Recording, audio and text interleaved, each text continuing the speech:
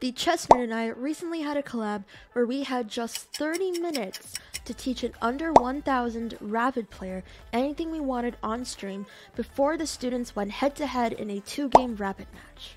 I noticed my student was lacking any proper knowledge within the opening and didn't really follow the basic principles. This was a really big hole because if he does not follow the basic principles within the opening, that can cause the match to go south very, very early on if his opponent knows how to capitalize on his weaknesses. So I decided it would be best to dedicate all 30 minutes of our lesson to helping him learn opening setups as white and black for him to use that follow the basic principles. Hope you enjoy this lesson and stay tuned to see if I was able to equip him with enough knowledge to fix those gaps in the rapid match and to see if our coach and student duo comes out on top.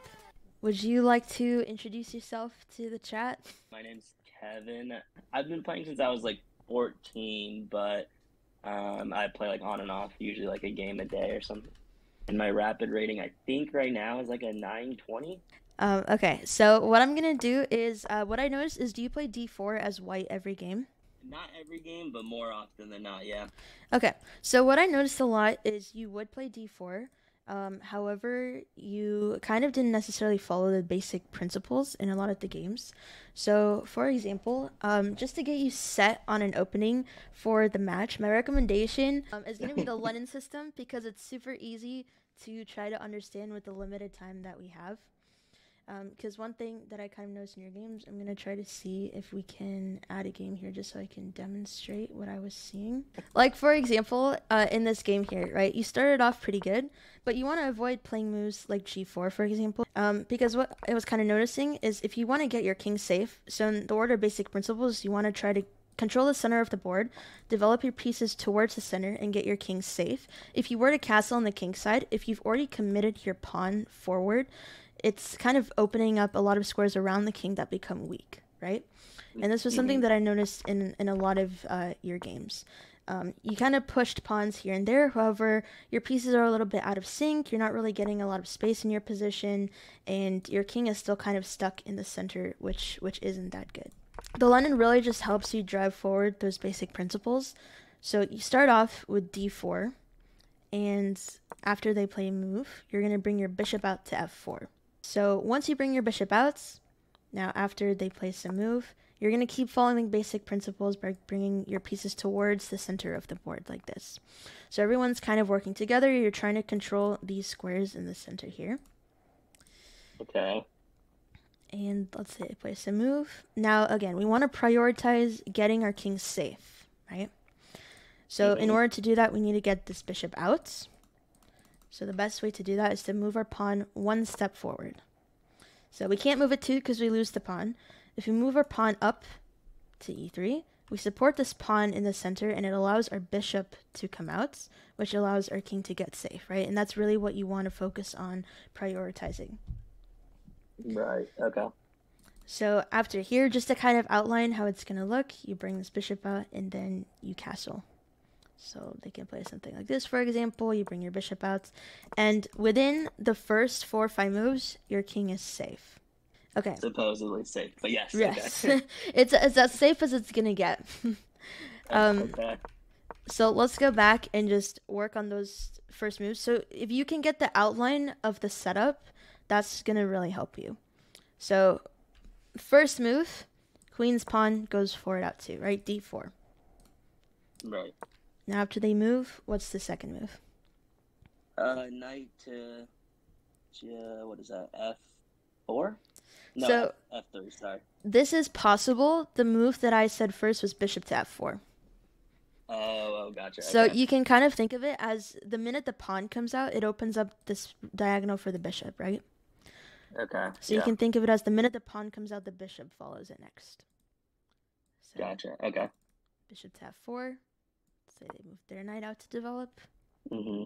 Now it's knight to f3. Mm-hmm. Knight to f3. And now let's say they play their pawn up. Okay, and you play the pawn to e3. Exactly. Yeah, E3. Yep. Develop your pieces. You want to prioritize castling, so get this bishop out. Yep. So bishop to d3. Mm-hmm. And then castle and castle. So fairly fairly simple, right? This kind of setup you can use almost regardless what your opponent tends to play. Mm-hmm. Um, and just so you can see, this knight you still haven't developed yet, right? So you need to get it out. So just to finish the setup, you'll push your pawn forward to c3, and then you can bring this knight to d2. And the whole purpose of that is if the pawn is on c3, I'm just going to make some moves for black so you can see what I'm talking about. Look at your pawn formation, right? It's this nice kind of upside down V shape where every pawn is nice and defended up until the center pawn. So once you have this nice center, your bishop sits nicely on d3 because it sits on this nice open diagonal. And you always want your bishops on an open diagonal, right? If your pieces can be mm-hmm. out and active and on nice diagonals, that's the best. And then this knight's after c3 is done, your knight only has two options, knight to a3, knight to d2. Knights on the rim are grim. I don't know if you've heard that phrase.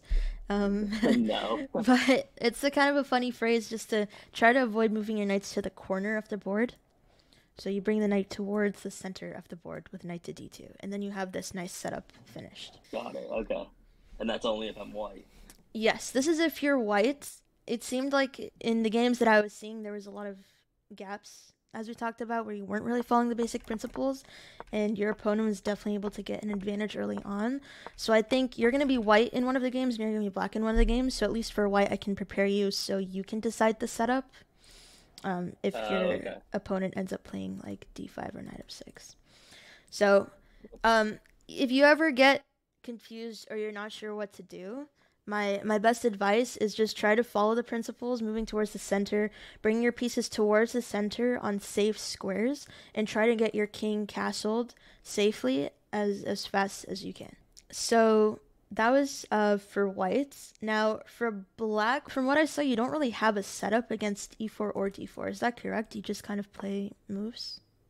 Yeah because well I, I always try to develop the back row but like i don't i don't really when I try to memorize the openings, that's when it, it kind of goes all bonkers for me. Okay. Okay. Yeah. So, um, memorizing openings is uh, it's not something you have to prioritize at your level, but having a good, solid setup is important, right? Because um, if you can develop your pieces to just solid squares, and try to take as much space as you can within an opening. That's all that really matters. Um, so I'm gonna give you a simple setup, kind of like what I did for d4. And again, if you you don't have to remember this move for move. I know it's a sequence of moves that's hard to remember, but the point is, um, I want you to kind of follow the the basic principles. That's what I'm gonna be emphasizing the most. So when your opponent takes the center, you also want to take the center. I saw in one of your games, I think you played like g6, and another game you kind of played both your knights out the minute your opponent moved their pawn forward. The mm-hmm. problem is when you kind of start off an opening where you're just moving your knights towards the center of the board, it's good that you're doing that. However, you're allowing them to kind of take control of the center. You see this? And they control all these squares, and now it's kind of hard to get your pawns out there. And I think in the game, they just kind of rolled you over with their pawns first. So the mm. safest approach is when they try to contest the center, you also try to contest the center. Okay. So I would recommend just a simple king's pawn versus king's pawn. Now, it's very common for the next move to bring their knight outs. What's the reason they're playing this move? They try to control. You never want the knight to go to the, the corner or the yeah, like sides. So I guess they're just trying to control the center. Mm-hmm. Yep. So they're developing their piece towards the center, and what are they attacking? The pawn. Mm-hmm. So when they're attacking this pawn, how can you develop your knight to defend this pawn towards the center of the board? Um, knight to c6. Mm-hmm. Exactly. Yep. Very good. So they attack your pawn, you bring your piece down, defend your pawn let's say they bring their bishop out, they're trying to get their king safe. Mm-hmm. And your priority is to try to get your king safe as well. So how can right. you try to develop your pieces on the king side? Do I do I play the other knight to G uh, no to F six? So you can. Um, for the purpose of the time that we have, I'm going to recommend you bring your bishop out first before your knight outs. Now, the reason why I don't know if you've ever fallen for this or seen this, but have you ever seen this move, the fried liver attack? I never knew what it was called, but yeah, I don't usually fall for it unless it's like the fifth game I played today. That, then I get kind of careless. Gotcha. Yeah. So this, unless you know the theory after, there's only one move that saves this position, and then you have to kind of know the theory beyond that so you don't get in trouble. So the way I solve this by not having to deal with this is I just bring the bishop out first. So now when you bring the bishop out, they don't have knight g5 because your queen is still open, right? Ah, uh, okay. So yeah, they're not able to play that. So let's say, I mean, they can castle or they can move their pawn out. Doesn't really matter. Let's say they move their pawn out so that they can try to play knight g5 again because now their bishop defends this square, right? Mm-hmm. So let's say they're still trying to play that. Now you bring your knight out because now that your bishop is out, if they play this knight forward, what move does this allow you to play now? To castle? Exactly. You're able to castle, and now your rook is helping defend this pawn. Something that's important to note is don't be afraid of them taking this pawn and trading both their knight and bishop out for your rook. This is a better trade for you if this ends up happening because you're going to have two pieces, right? You take the knight and the bishop, and they only took your mm-hmm. rook. So that's always going to be a worse trade for them. Isn't that equal in material though? So if you go by points, yes, it's six points to six points, but you technically take another piece, right? Because they're giving up two pieces for this one piece. Mm, okay. So if you look outside of points, if you look from like a positional standpoint, it's worse for them to do that. Okay. Got it. So this is a easy way to avoid any problems in the opening. And again, you're developing to the center, bringing your pieces out towards the center, and you're castling as fast as possible. So as simple as, as that can get. So let's um let's go through that again so you can feel comfortable. So let's say they play yeah. e4. So you match it with um, the pawn in front of the knight, uh, two spaces up, mm-hmm. e5. Exactly. Yes. Now let's say they develop their knight to try to attack the pawn. And then you move. Then you move the knight to c6. Mm-hmm. Very good. You develop your knight to defend this pawn. Then I move the bishop to c5. Exactly. So you bring the bishop out before the knight, so you don't have to worry about any fried liver stuff. Right. Um, and then I can move the knight out to f6. Uh, yeah, f6. Mm-hmm. Exactly. And then, I mean, I guess I castle to get the king to safety as fast as possible. Mm-hmm. Yep. Very good. Um, and then after your king is safe, your priority is to get your minor pieces developed, and this is the last minor piece to develop, right? So mm-hmm. if you want to get your bishop out, you can just move this pawn forward one square. It helps support the pawn and the bishop in the center, and it opens up your light square bishop, and then it's a game from there. Gotcha. Okay. Wow, make it seem, you make uh, openings seem easy.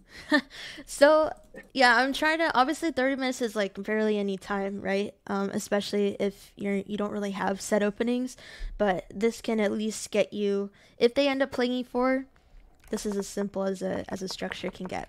Um, my advice, because it is a 10 minute game, uh, don't feel the need to to rush in the opening because you have time, right? Um, it's 10 plus 0, so there's no increments, but you do have time to think. If your opponent ends up playing something else, like let's say with an e4 they they switch it up or they play something that isn't one of these moves that we talked about, take your time and don't be on autopilot mode, right? Just kind of ask yourself, okay, why did they play the move that they played? Um, do they have a threat with that move? And if they don't, just try to keep developing, kind of following the principles towards the center and trying to prioritize your king safety, right? If there's any two questions I can recommend you ask yourself when your opponent makes a move and before you make a move is did my opponent move to a safe square once they make their move? Because your opponent might just blunder a piece, right? And then what is their threats when they make a move? That's going to be very important. And then before okay. you make a move, are you moving to a safe square? So you just ask yourself the opposite question, right? That's going to be the if there's any question you remember to ask yourself, ask if you're moving to a safe square because that can prevent you from potentially just blundering a piece or walking into something that you just missed. Those are the most important questions. Um, and if your opponent has a threat, try to make sure that your move is stopping their threat as well. Yeah, so let's uh let's go back to this real quick. So we have like 12 minutes left. So I think what I'm going to do is just kind of prioritize making sure you have good setups going and that you remember them. Yeah. Okay. So let's say you're starting off from whites. What's your first move? Um, pawn uh, d4, Mhm. Very nice. and oh gosh, I'm getting confused with black now. Is it is it knight to d3? So when this pawn comes out, what does it open up? Uh oh, the bishop. Mhm. Oh, the forgetting that. Okay, so bishop to f4 then. Mhm. No worries. Okay, now it's it's knight to f3, Yep, very good. and then the oh, it's either pawn to e3 or the knight to c3. I forget which one goes first. I think it's the knight. So prioritize king safety. Oh, okay, okay. So the pawn then Mhm. to to e3. Yep. Yep. Um, the one thing that, so this is called the London system. I don't know if you've heard of it. Um, Uh, yeah, kind of. okay. So one thing that's distinct about it is the pawn structure, and if you remember, it's an upside down V. Oh, gotcha. So okay. if you're ever trying to remember, hey, where do all my pawns go? Remember, this is kind of the structure that you're going to want with your pawns. Just as a little Okay. little tip. Okay. So here. okay, so then bishop to d3. Mm-hmm. Yeah, bishop to d3. If they end up taking, you can just take back with your queen, and that's totally fine. So you're just kind of offering a trade. Yeah. Um, so let's say they go for the trade, then you take back with your queen. Say they move the bishop out. Okay, then I castle. Yes, very good. They castle, and now you need to bring out your last minor piece. Yes, so that is knight to d2. Yes, very good. And then um, on the next move, just make sure you connect your pawns, right? So that Right. way your pawn has uh, support in the center. Um, and this is just something to to help you in the future. Um, the the coordinates, like the squares, right? Like e e4, d4, c5, etc. They're kind of um, the coordinates are like the language of chess, right? So Mhm. if you can memorize, like if I say, hey, what's this move? If you can instantly be able to say, hey, that's d4, knight f6, g3, um, getting very familiar with the coordinates is going to help you a lot in the future, especially if you want to improve. Because if you're able to list out the coordinates faster, it's going to help you think faster and also be able to calculate more, right? Um, so that's just Yeah, kind of I a think tip. I've always played. Yeah, I think I always played growing up where it didn't have that, like on a cheap board that didn't have it. So I think Gotcha. that's why I didn't, don't really remember them. I gotcha. Makes sense. Yeah. Okay, so we have that. Now let's review um, if your opponent plays e e4. Okay, so I match it with uh, e5, Yes, nice. uh, knight to c6, Mm-hmm. uh, bishop to c5. Yes, very good. You bring the bishop out first. Nice. So you don't have to worry about any complications. Um, and then last minor piece. Um, but I think in this case, it's knight to f6 instead of um, e7, right? Yes. Yep. So you bring this knight out to f6. Yeah, knight's to the center of the board here. Um, in the London system, I'll I'll talk about it again, but just so I can compare the two.